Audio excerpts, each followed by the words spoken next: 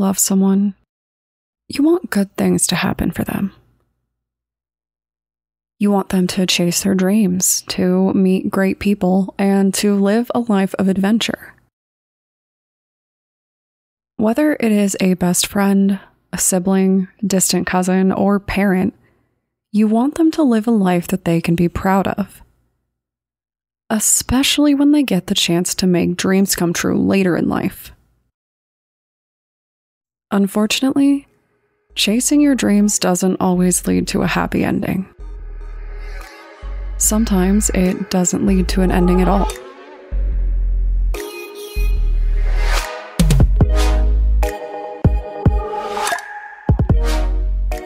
My name is Brienne, and I'm the host and creator of Among the Dirt and Trees, a show where we explore true crime cases that occur out in nature.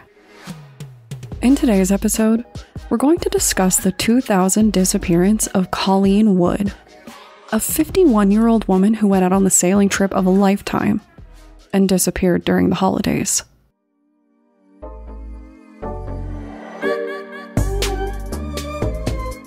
It was during this time of year when Colleen Wood disappeared and her vanishing during the holidays was actually how her family knew that something was really wrong. But before we go into all of that, let's talk about what led up to her disappearance. Colleen was a woman in her 50s who was living a great life in Florida. She had a job down at a local marina and had started thinking about her dream life a life of time spent sailing across the ocean or at least around the coast. In her searches, she came across something interesting an ad requesting a sailing partner. The man who ran the ad was a very impressive and experienced sailor. From his Ivy League degree to his history of fame and incredible wealth, he sounded like he had it all. All that he needed was someone to sail with.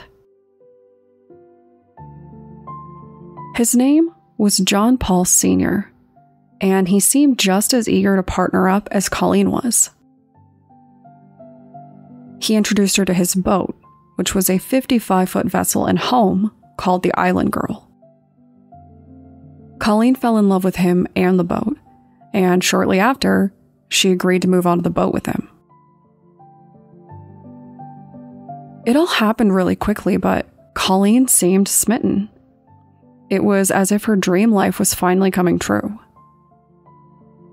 Of course, real life isn't a fairy tale. In real life, major life changes come with a surprising amount of admin work. After her move, John Paul convinced her to give up everything and lean in on sailing with him. She sold her home, her car, and everything else. All of the money she gave to John Paul to invest on her behalf. And then, to the horror of those who knew her, she quit her job to be John Paul's assistant. They were dating and began planning a grand sailing adventure. Then they departed.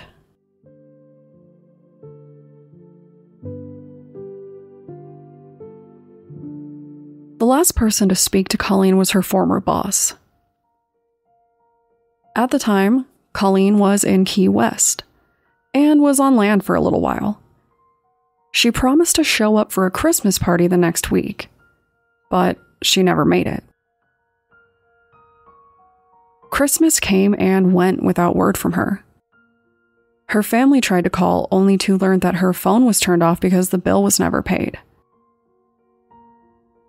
New Year's came and went without her. Her family knew that something was wrong, but they had no idea how to find her or even where to look. With the boat, she could be anywhere. All that they knew was who she was with. So they started looking for John. It was during their own investigation that they learned something fairly disturbing. John Paul Sr. was famous. A famous criminal. And a particularly nasty one at that. drug smuggling, an attempted murder on a former business partner, assaults against officers in prison. John Paul was a violent criminal, and he had finally received parole after being declined numerous years in a row. The year that he met Colleen.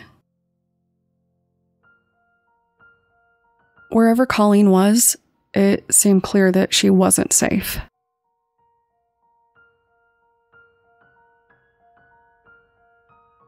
When police found John Paul Sr., Colleen wasn't with him. This would start a new series of lies from Paul. He claimed she found a new guy to run off with and took her stuff and left, but her kids didn't buy it. Colleen loved John Paul and had seemed very happy with him. Later on, he claimed that they had an argument over an ex of his and that she broke up with him over it and left. And then he tried to say that she owed him a bunch of money and wasn't paying him back, so they fought over that. This last claim certainly seems pretty interesting considering she had just given him all of the money that she had to invest on her behalf. How could she possibly owe him more than that, than the houses and the cars. And why would he help her if she owed him it all? It made no real sense, and it wasn't the only alarming evidence regarding money.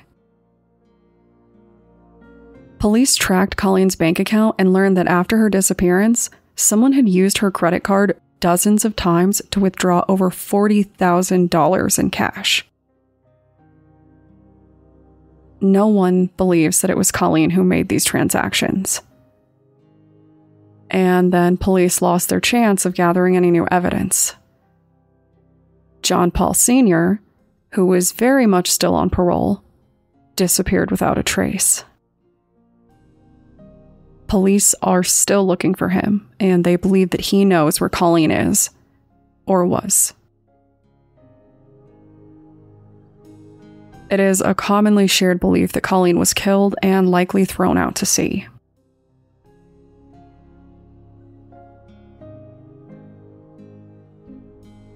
The circumstances and evidence in all of this is fairly damning, and certainly seems to support the narrative that Colleen unwittingly found herself bunking with a murderer.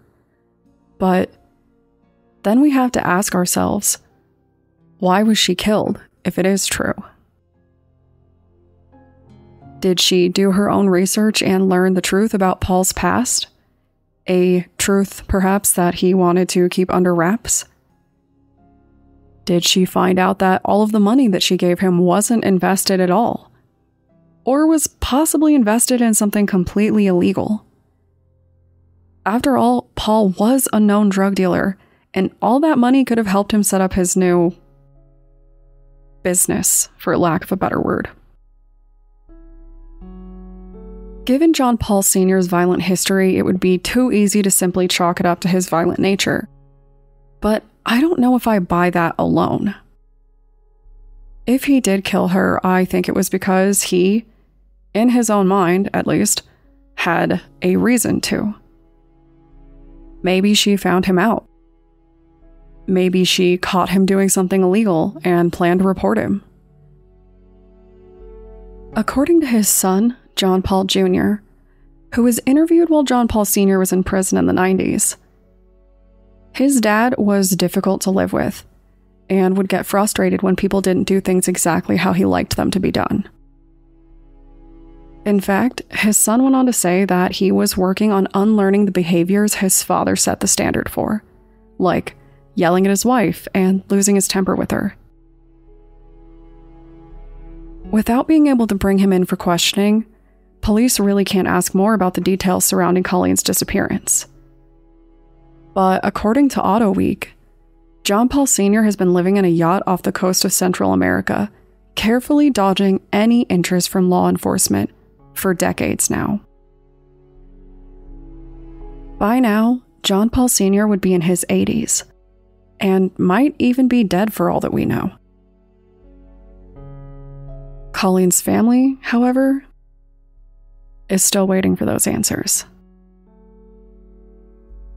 So, if you would like to discuss the dangers of whirlwind romances, the best places to sail to in 2023, or you just want to tell me about your New Year's resolutions before you give up on them, feel free to contact me on Twitter or Instagram using the tag at DatPod. Thanks, guys, and Happy New Year.